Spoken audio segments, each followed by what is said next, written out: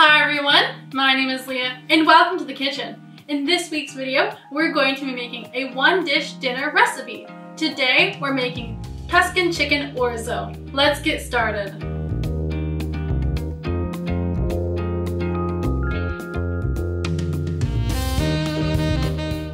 For this recipe, you'll need some orzo pasta, spinach, an onion, dry white wine, I happen to be using a Pinot Grigio, heavy cream, olive oil, some broth, minced garlic, grated Parmesan cheese, boneless skinless chicken breasts, a jar of sun-dried tomatoes, crushed hot red pepper flakes, some Italian seasoning, and some salt and black pepper to taste.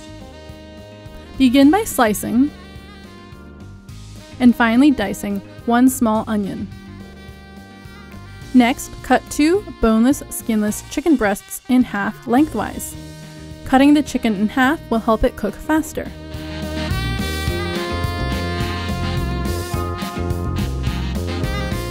Drain all the oil from a 7 ounce jar of sun-dried tomatoes. Add 2 tablespoons of olive oil to a large skillet. Heat the oil over medium heat and let it coat the bottom of the pan. Place the halved chicken breasts in the pan in a single layer and cook for 3 minutes aside. Season the top half of the chicken with some salt, black pepper,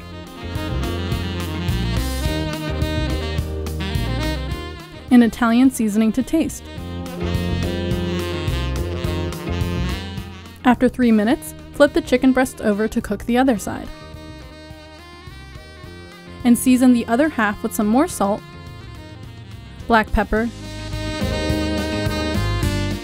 and Italian seasoning to taste. After the 3 minutes, remove the chicken breast from the pan and set aside. Add 2 more tablespoons of olive oil to the same skillet, and add all the chopped onion to the pan. Stir and saute the onion as it softens and cooks for 5 minutes over medium heat. Add 2 teaspoons of minced garlic and stir for 30 seconds. Add the drained sun-dried tomatoes and stir to combine with the onion and garlic. Add 1.5 cups of dried orzo pasta to the pan. Stir the orzo as it toasts for a few minutes with the onion, garlic, and tomato. Pour in a third of a cup of dry white wine and stir to deglaze the bottom of the pan until the wine has evaporated. Next, pour in 3 cups of broth to the pan. And season with some crushed red pepper flakes to taste.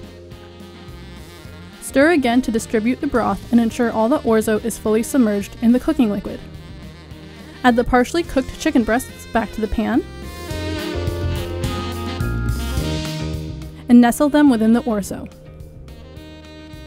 Once the broth is gently boiling, cover and simmer on low for 15 minutes. Halfway through, remove the lid and give everything a stir to ensure the orzo isn't sticking to the bottom of the pan and flip the chicken breasts over. Then cover and continue to simmer. Remove the lid after 15 minutes and stir the orzo again.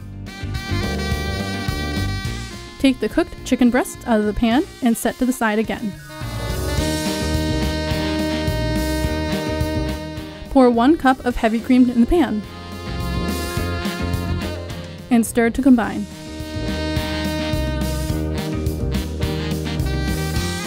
Add a third of a cup of grated Parmesan cheese and stir again.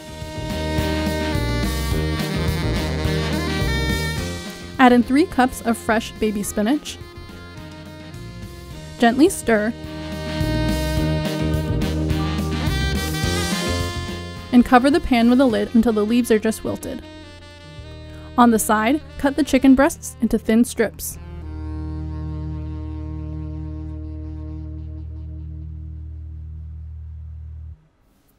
Remove the lid from the pan. Stir the cooked spinach in with the orzo.